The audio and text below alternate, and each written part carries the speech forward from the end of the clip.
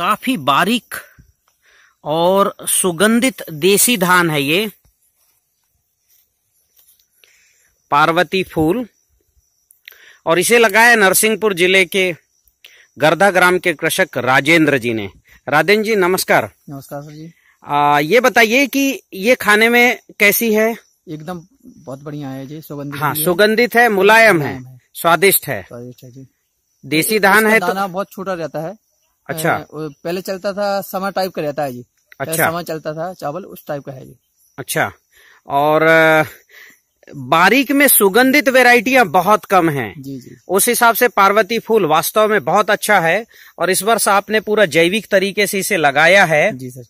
क्या क्या इसमें डाला है आपने? इसमें सर जी सजीव जल डाला।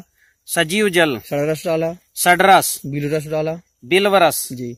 तो सजीव जल जो है, ये इसने इसकी बीमारियों को रोका, नाइट्रोजन की पूर्ति की। देखिए, पौधे बिल्कुल हरे कच्चे हैं और सडरस इसका टेस्ट बढ़ाता है।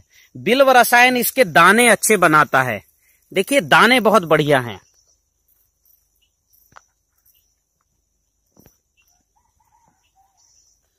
और फ़सल भी आपकी बहुत अच्छी आने वाली है।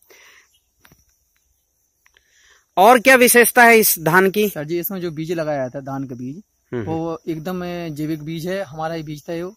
वो अच्छा देसी बीज है आपके घर का जैविक बीज जो पिछले आप तीन साल से जैविक खेती कर रहे हैं। अच्छा तो और मुझे आप ये बताइए कि जो सामान्य उपज है जी।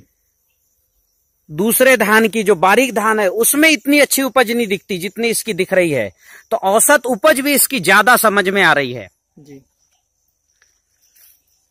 इसमें कंसे भी काफ़ी मोटे मोटे कंसे आए हैं। और इसकी भूमि सजीव हो गई सर जी इसमें लगातार तीन साल से जैविक कर रहे हैं अपन।